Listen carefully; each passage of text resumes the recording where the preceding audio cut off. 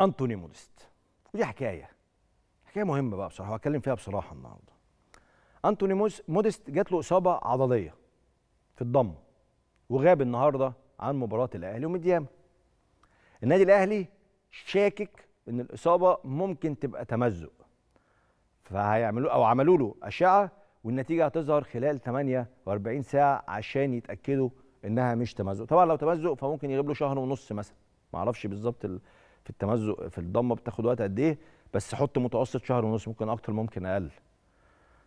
ف يخليك تقعد تفكر. الاهلي كان استعجل جدا في في في الصيف الماضي إنه يشتري مهاجم. ليه؟ أنا كنت محتاج مهاجم يلعب معايا في كأس السوبر الأفريقي. محتاج مهاجم يلعب معايا في الدوري الأفريقي. بطولات أصلي كلها قبل يناير فأنت مش قادر تستنى لحد يناير. محتاج مهاجم يبدأ معايا الدوري محتاج مهاجم يلعب معايا نصف نهائي كاس مصر محتاج مهاجم يلعب معايا كاس العالم للأندية. فكل ده موديست يا إما ما بيشاركش يا إما مشاركة خافتة كده مش مش قوية حتى هذه اللحظة. فمش عايز ألوم على الأهلي عشان أنا من مكاني هنا أشدت على فكرة بصفقة موديست ومش هتراجع يعني. أشدت بيها بحكم التاريخ راجل بيلعب في بروسيا دورتموند راجل كان هداف مع كولن الألماني راجل كان بيلعب في بطولات أوروبية كبيرة راجل كان بيلعب وهداف كبير مع فرقته.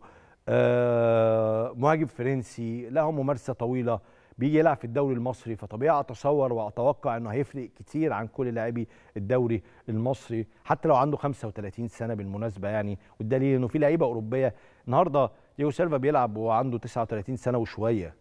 فاهم؟ فما تقوليش إنه لاعب جاي من أوروبا 35 ده كبير. بنزيما 36 37 سنة وبيلعب. كريستيانو رونالدو داخل على 39 سنة. ف يعني ما ما فيش ما تقوليش أنا مش بقارن اسم باسم. أنا بقارن على المرحلة العمرية. في لعيبة كتير في أوروبا معدية 35 سنة ولوكا مودريتش وكتير. 35 سنة وبيأدوا بشكل رائع جدا. فما كنتش شاكك إنه هيبدي بشكل كويس. والطبيعي إنه الأهلي إدارة وإدارة تعاق- تعاقدات وجهاز فني هيقولوا كده برضه بس الراجل حتى هذه اللحظة يا إما مش منسجم يا إما عنده مشكلة بدنية يا إما عنده إصابات متك... يعني في حاجة غلط. فأتصور إن موديست أتصور مجرد تصور وتوقع موديست آخره مع الأهلي يناير. ووارد إن ما تجيش معاك. وأنا أنا أنا ما بحبش بس الناس اللي إيه الحق شوف الأهلي مش عارف يجيب لعيبة والأهلي. لا ما هو أنا برضو جايب أهل- لعيب من دورتموند يا جماعة. جايب لعيب من بروسيا دورتموند. يعني ما حدش برضه هينفع يلومني كأهلي تمام؟ وأنا جايب لعيب من بروسيا دورتموند. بس هو خلاص ما نفعش العند بقى معاه يعني لو أنت عاندت وقلت لأ هيكمل آخر الموسم عشان ما أطلعش أنا غلطان هيبقى هو ده الغلط. ما نفعش في يناير خلاص. شوف مهاجم بسرعة بديل عشان الأهلي ما زال لديه مشكلة هجومية كبيرة. خد الأكبر من دي.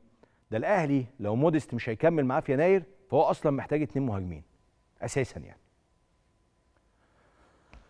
دي قصة الأهلي.